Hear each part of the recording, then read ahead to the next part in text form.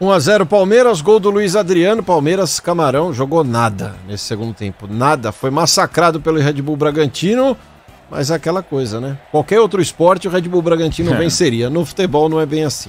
Não, e a impressão é de que o Palmeiras está no limite, né? Desgastado eh, fisicamente de maneira avassaladora.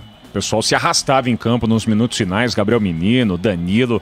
Palmeiras com dificuldades de levantar a cabeça e conseguir manter a posse de bola no campo de ataque. Em nenhum momento conseguiu.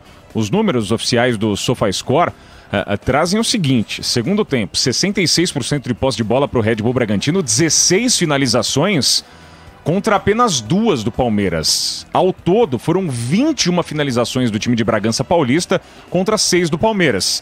Palmeiras finalizou apenas uma vez ao gol, o gol do Luiz Adriano. E é isso. O futebol é um esporte coletivo em que, de fato, há uma série de maneiras de você vencer o adversário, não há uma receita de bolo. Hoje o Palmeiras jogou muito mal, mas acabou num lance especial envolvendo o Luiz Adriano, para mim um jogador extra série, um cara que no ambiente sul-americano decide jogos e é muito importante, fazer 1 a 0 diante de uma tentativa de defesa do Cleiton não aconteceu.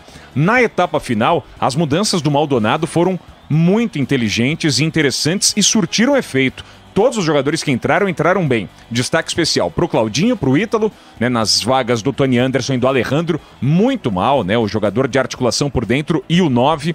Lucas Evangelista muito bem na vaga do Hiller, que perdeu um gol absurdo no primeiro tempo, ainda quando o placar apontava 0 a 0 Além do Leandrinho, que entrou minimamente bem na vaga do Coelho, pelo lado é, esquerdo, né? Do, do, campo de ataque da equipe do Red Bull Bragantino.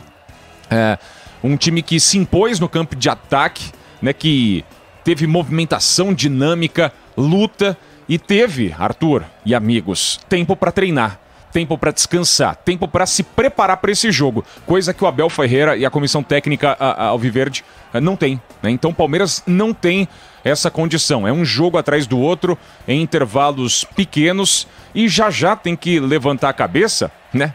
Moralmente, porque jogou mal, né? Mas venceu três pontos e é isso que importa. Palmeiras chega à marca de 44 no Brasileirão da Série A, é o quinto colocado, pode, porque não, sonhar com voos maiores, tá tudo muito apertado. O vice-líder Atlético Mineiro tem 49, para se ter uma noção, e o Palmeiras tem um jogo a menos do que o Galo Mineiro. Então, assim, é, o Campeonato Brasileiro ainda está aberto e acho que o Palmeiras pode sim pensar em título. Só que, claro, o foco neste instante são as Copas do Brasil no meio de semana e depois a Libertadores da América no início do ano que vem.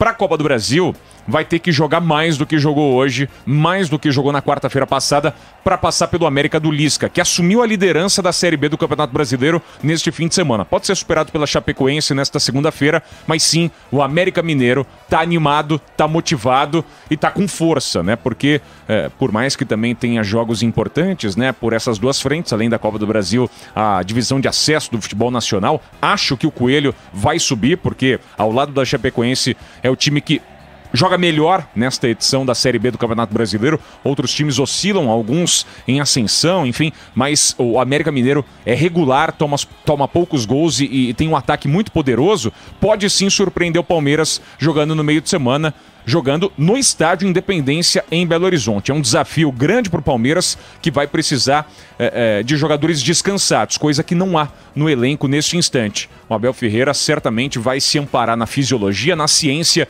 no departamento médico para definir o 11 inicial. E vai ser uma luta. Vai ser um jogo de abnegação, de, de entrega o Palmeiras, é, evidentemente, tem mais repertório técnico, tem um jogo coletivo azeitado, cada vez melhor. O Abel Ferreira mudou para melhor o Palmeiras, só que não é fácil e o Palmeiras hoje sofreu demais. Venceu, mas em nenhum momento convenceu.